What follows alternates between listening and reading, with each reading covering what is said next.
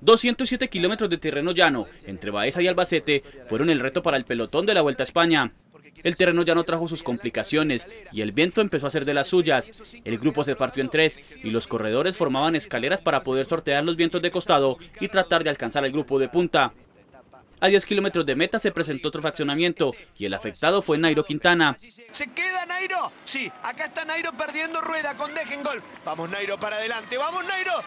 El grupo de punta en el que estaban Christopher Froome, Rigobert Urán y Esteban Chávez buscaba sacarle ventaja al colombiano, pero faltando 5 kilómetros a meta, el grupo de Quintana conectó de nuevo.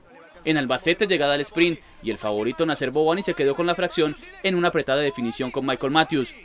185 kilómetros esperan al pelotón en la etapa 9 este domingo, que tendrá tres premios de montaña y llegada en premio de primera categoría.